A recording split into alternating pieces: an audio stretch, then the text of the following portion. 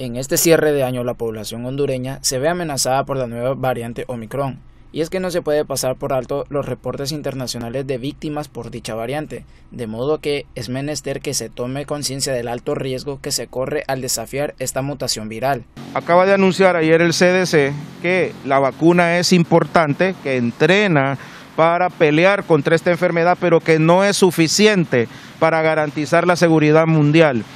¿Qué ha dicho? ¿Cómo interpretar esto? Esto significa que está invitando a la comunidad mundial que en esta época dicembrina, que es donde más viajan personas, que es donde más se reúnen las personas,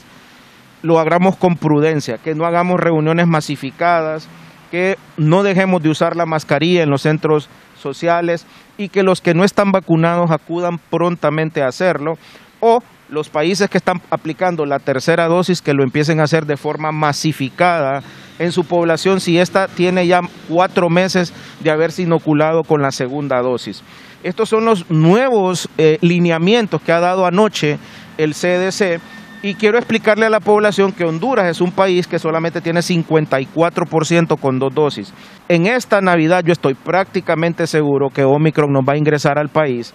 ya anoche se ha descubierto el primer caso en la isla Gran Caimán, que tenemos vuelos con Gran Caimán nosotros, y está en México, en Estados Unidos, en Sudamérica, y es cuestión de días para que ingrese a Centroamérica. Y una vez que ya ingresó a Centroamérica, Honduras va a ser presa de Omicron, así que nos tenemos que preparar tremendamente los hondureños porque esta es una realidad mundial que Honduras no va a ser la excepción. Para Noticey les informó Cristian Cerón.